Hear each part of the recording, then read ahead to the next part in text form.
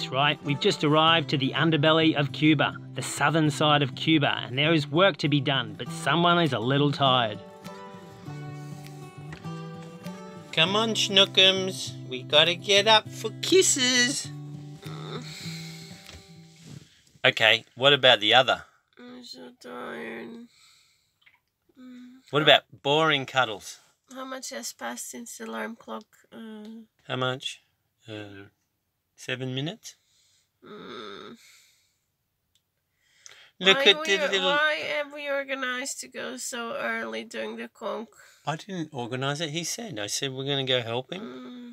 Who organizes cleaning the conch at 8 a.m.? Jesus, I need to sleep.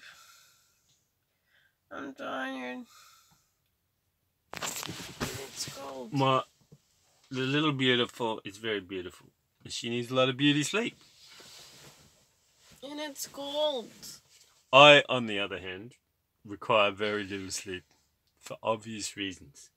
That's not true. You're just complaining that you were tired and where it was your blanket.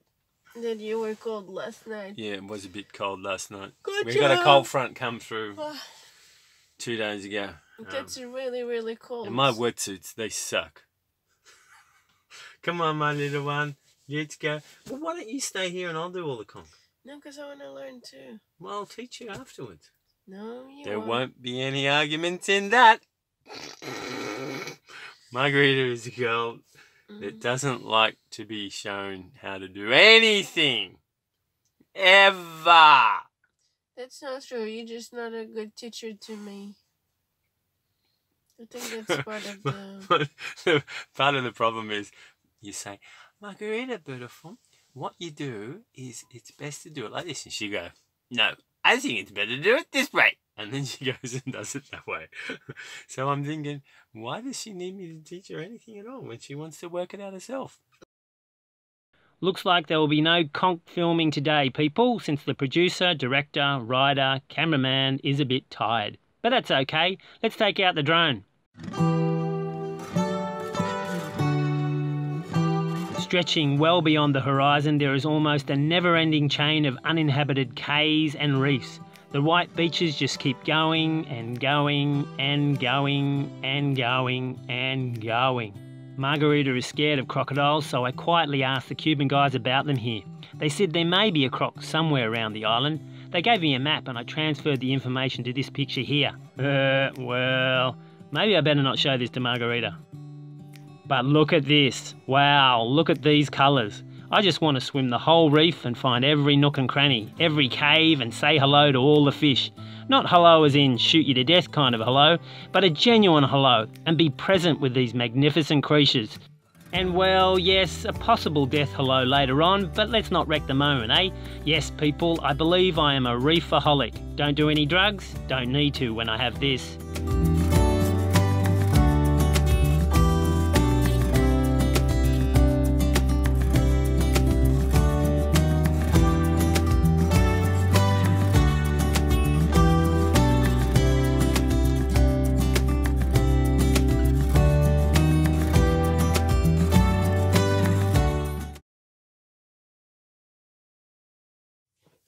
We're gonna be spending the afternoon with our Cuban friends. We're gonna be making bread. Um, I'm just gonna make the dough so it has plenty of time to rest, and then we use their oven if they have one. and they're gonna teach us how to um, cook that animal that we showed before, that cute little one that I don't remember the name, but you're gonna find out soon.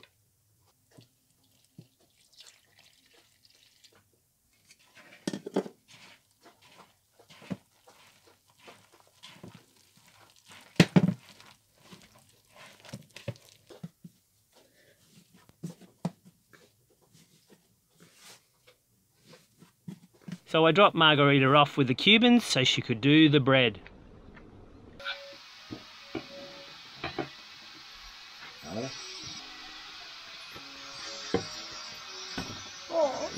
Agua. Le puesto agua aquí. ¿Tienes un poquito de aceite para que ponemos por fuera? Noel here is obviously married. He says see, yes, ten times in less than three seconds. He's well trained. Speaking of well trained, Margarida asked me to get her a grouper. Now, I don't like shooting grouper because they're a bit easy, but you know, well, I'm trained too.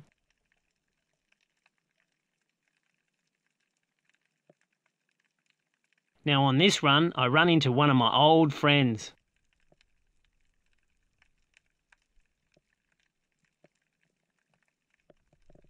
This is Maury the moray eel, as opposed to Murray the mud crab that I let go those many years ago because of our friendship. Oh, those were the days, people. He looks hungry. Well, I can sort that out.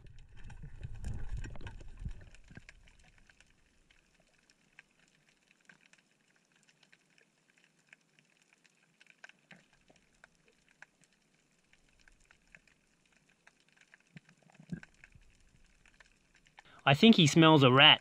I suppose it doesn't help me pulling it away all the time though, but then something unexpected happens. I really wanted the moray eel to come out of the hole more and eat the fish. You know, it's more dramatic than the crab doing it, just sitting in his hole.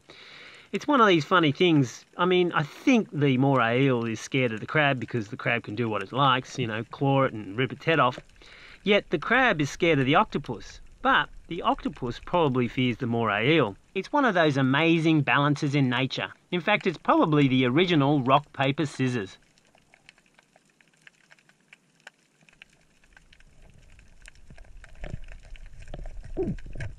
Well, I see no grouper in the shallow, dirty water. We're going to have to go deep where it's all clear.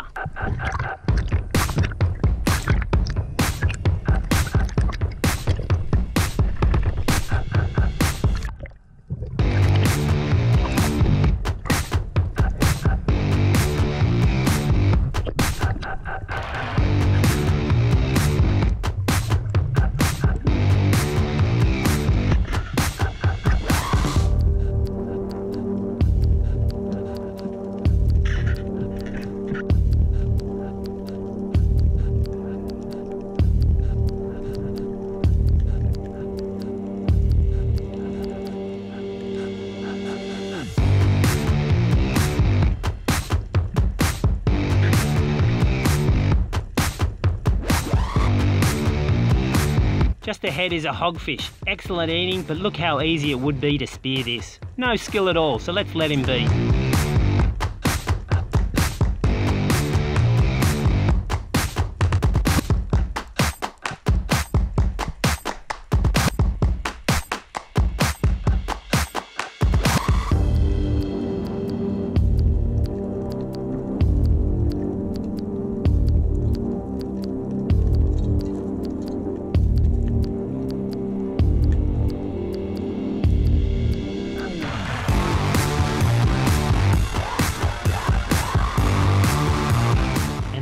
Cute little cubera playing hide and seek.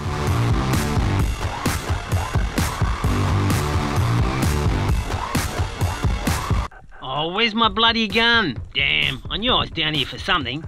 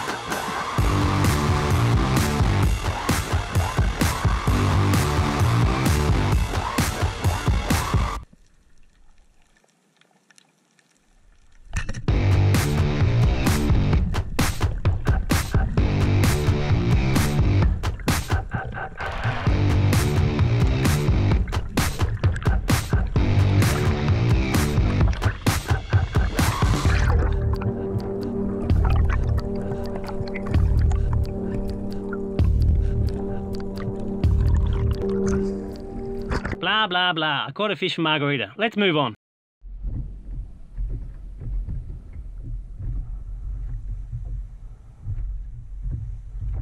No, people, I'm not doing cardiac massage. Just look closely. You can see a bit of a tail coming out of the mouth now.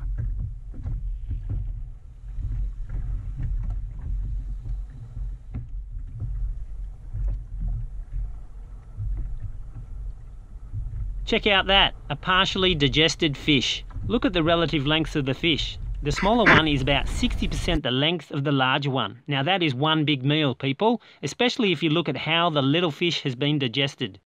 About 40% of the little fish was sticking out into the fish's mouth. Now that can't be too comfortable, people.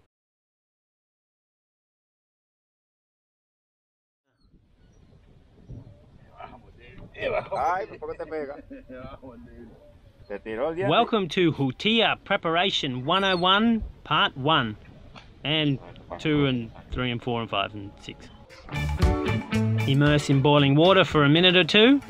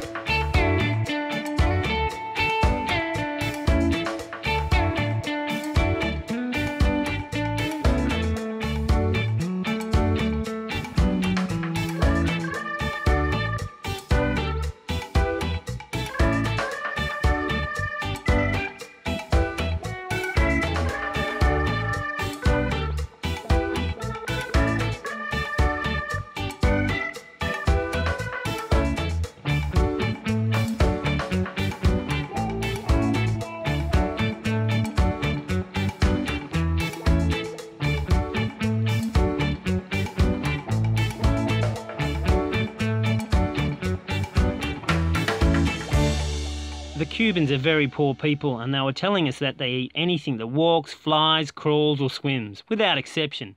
With the country in such a bad economic position, they really have no choice.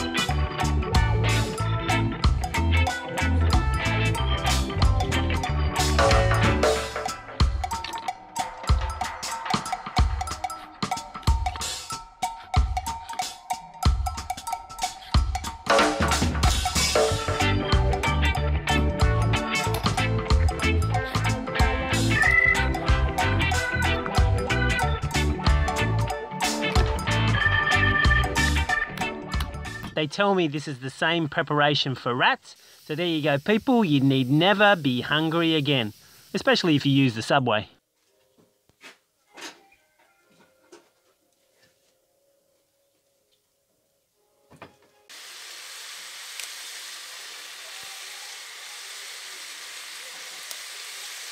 On this department, we're doing the cooking.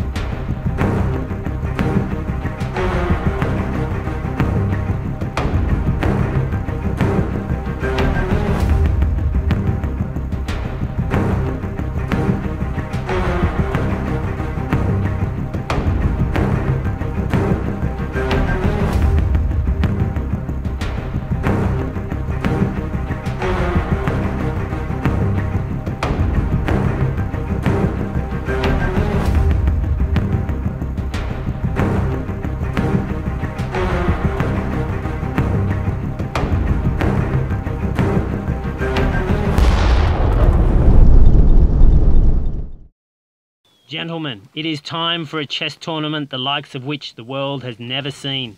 More thrilling than Kasparov versus Deep Blue, we have Cuba versus Australia. Granted, not usually the heavyweights in this illustriously vicious game, but it'll be a tough game nonetheless. Cuba has the hometown advantage of 5 to 2, plus a shitload of monkeys who knows which hands feed them. We're just playing chess while we wait for the monkeys to come. We drop some food and we made the monkey call and left the Osmo action there attached to, to a tree with a rope so I don't steal it to see if we can feel and them we closer. Do that really tight because apparently they can undo anything. the yeah, they're, they're, they're pretty smart. I was hoping to have the whole lot filmed and I'd put it into a six part series with analyses, but unfortunately the cameraman got bored and started socialising. So this is all the footage we've got. Many would say thank God. Cuba is in trouble, and it's Australia's move. I want to put my knight here. Yes, I could get a free bishop, but where is the fun in that, people? He's already down two knights, and I'm down only two pawns. So if I move my knight here, he will be in check, which is really no big deal. However, by moving my knight, it opens up an attack from my queen to his unprotected rook. He has to move his king, and so his rook is gone. Now let's say he moved his king out of check like this and I took his rook with my queen. I really am not sure what his next move will be because they're all terrible. But my next move would be to bring my bishop down to here which his bishop can't take because it's pinned against his queen. So I get his bishop for free. But in actual fact he moved his king here attacking my knight that was now on that square. I sacrificed my knight, but then his king was out and about and all alone. So, after an exchange of queens, he was in checkmate about 10 or so moves later with my rook, both my bishops, a knight and a pawn. So let's go back to this picture. What is the best move that Cuba can make after Australia moves the knight? There are only two. Ring Castro and have Australia thrown into jail for not having a visa, or bump the table.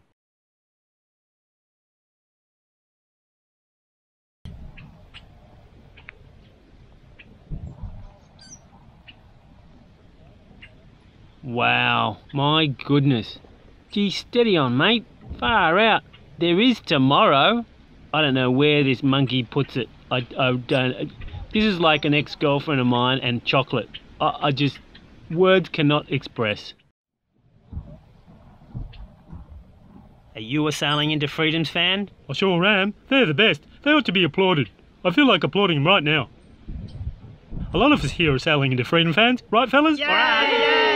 Well, except for those two coming up from behind, they're PewDiePie fans. I keep away from them. Yeah, we love sailing into freedom, but this guy behind us, he's a PewDiePie fan. Yeah, bit of a wanker. Yeah, see what I mean?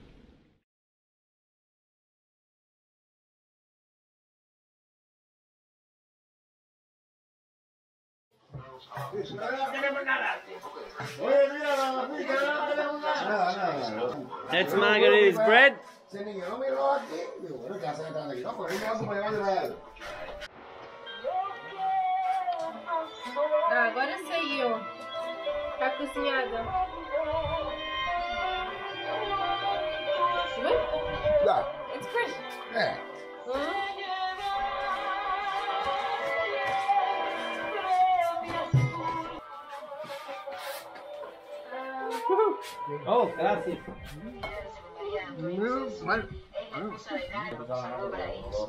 It's not bad, but we need to work on it.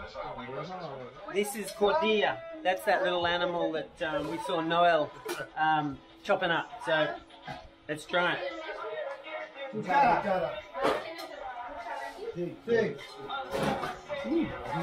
It's very good. Really good. Bueno. Now we're gonna get margarida. Está bien así, gracias.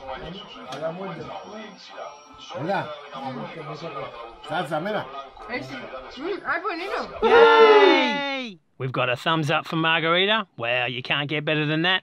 Join us next week to see more of Cuba.